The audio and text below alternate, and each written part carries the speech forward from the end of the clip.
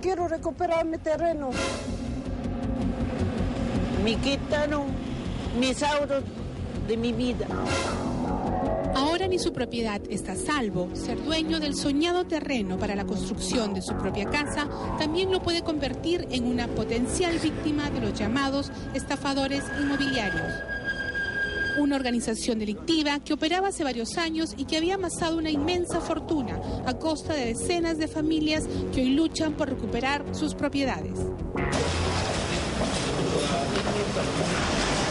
sea testigo del increíble método que empleaba esta banda, que no solo utilizaba el Código Civil para sus fechorías, sino que convertía a indigentes en millonarios y en dueños de costosas propiedades. Claro, todo ficticiamente. También he sentido ese momento cuando me querían llevar, mi corazón estaba así, latiendo, latiendo así. Yo pensé que ahí nomás me voy a quedar, pero yo no tenía nada, señorita. Francisca Altamirano Osco es una humilde mujer iletrada. En el año 2005, junto a su familia y con los ahorros de toda su vida, adquirió este terreno ubicado en una zona residencial de La Molina. Sin embargo, hoy es dueña de nada. En junio de este año descubrió que su extensa propiedad de más de 500 metros cuadrados había sido revendida hasta otras dos personas. 100 mil dólares ha vendido, señorita. Primero ha vendido 7 mil, después esto después ha vendido 100 mil, así señorita. Comprobó que alguien había falsificado la firma de su esposo para otorgar un poder a una persona que luego vendió su propiedad. Lo curioso del caso es que el poder se realizó en una notaría del distrito de Pacasmayo. Lo peor vino después. Una tercera propietaria terminó desalojándola de su única posesión. Yo solita ando para acá para ver, hay veces no como, hay veces como. Todo este problema me está matando, señorita. Por favor, señorita, que me quiero que me ayude, señorita.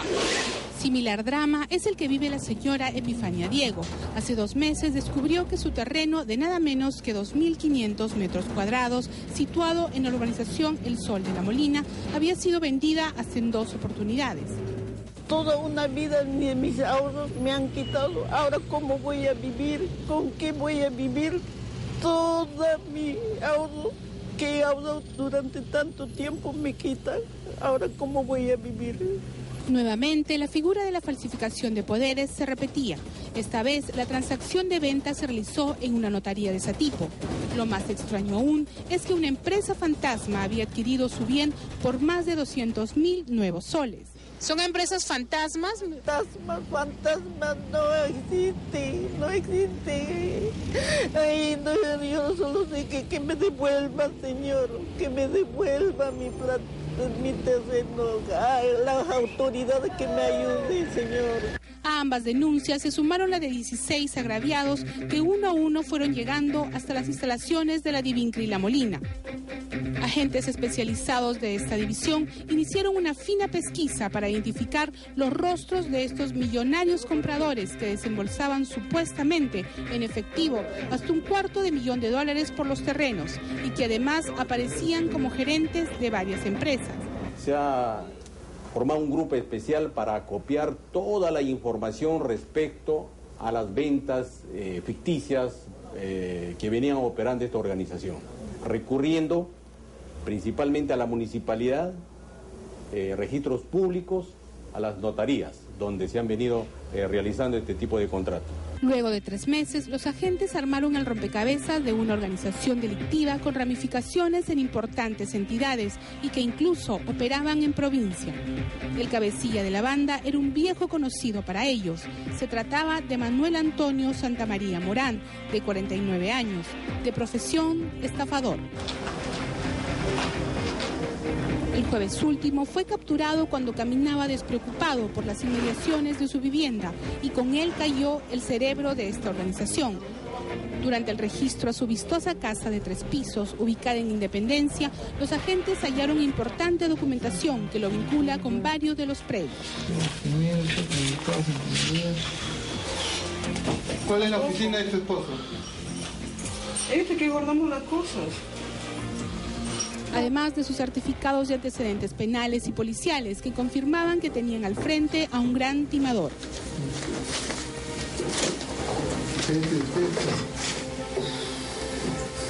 Se le incautó además una moderna camioneta del año. Uno a uno fueron cayendo los demás miembros de esta banda. Luis Giancarlo González Besada, ex trabajador del municipio de La Molina, que tenía acceso a información privilegiada de las propiedades, que eran luego compradas y vendidas fraudulentamente. Esta organización, para iniciar sus actos ilícitos, eh, necesitaba la información qué terrenos encontraban eh, presumiblemente un posible abandono, abandono por parte de sus eh, propietarios, ya que muchos de ellos no radican en Perú. Uno de los tramitadores de la organización fue identificado como Alfredo Amador Ibáñez Castillo, y era el encargado de pulir todos los trámites ante registros públicos y crear empresas fantasmas, las mismas que luego adquirían las propiedades de las víctimas. Terrenos todos ubicados en los distritos de La Molina, Surco y San Borja.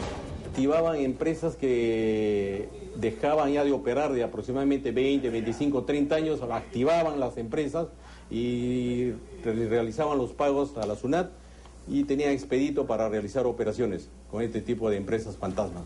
Esta organización no tenía reparo alguno en utilizar a indigentes como Luis Patiño Huertas, de 71 años, quien en un mismo día adquirió dos terrenos en exclusivas zonas de La Molina, desembolsando supuestamente más de 100 mil soles. Señor, ¿usted por qué prestó su nombre? No sé, no sé, no sé, la verdad que no sé.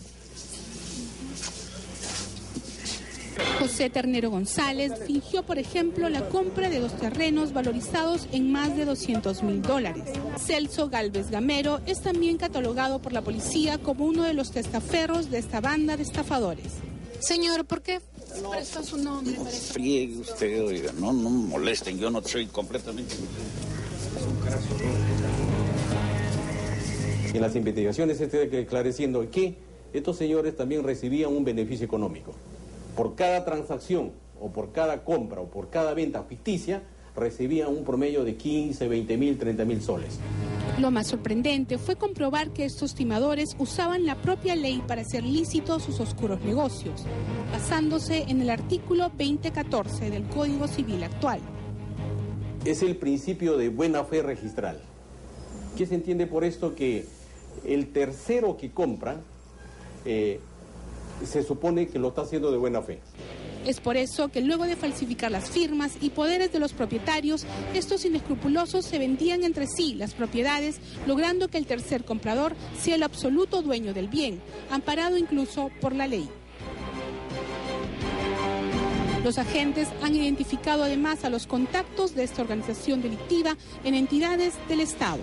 Las investigaciones se van a eh, ampliar seguramente para ver la implicancia tal vez de otros este, implicados en este caso, algunos funcionarios tanto de municipalidades como de los registros públicos. Los inmobiliarios de La Molina, como han sido catalogados por la policía, se habrían beneficiado con más de 7 millones de dólares, dinero repartido entre sus 25 integrantes.